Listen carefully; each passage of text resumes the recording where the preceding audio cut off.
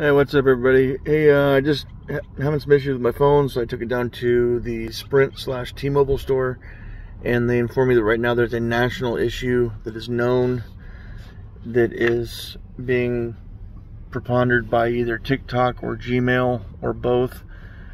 It affects random phones. If you go to check your email or go get on TikTok or get on other apps, it kicks you right back out of them and will not let you use them um, but they said it is a known issue and they are working on getting it fixed.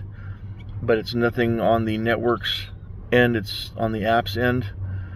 So it's something that apps are having to work on.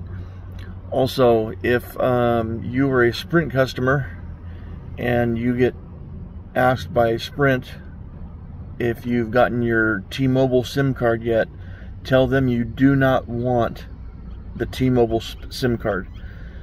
The reason why I say that is the SIM card for T-Mobile um, slows your phone down to like 2G. It's been reported in other places on the internet, but I was talking to another customer in line today and I was telling about my issue when I got my T-Mobile SIM card. I put it in my phone and instantly I could not send pictures and messages anymore.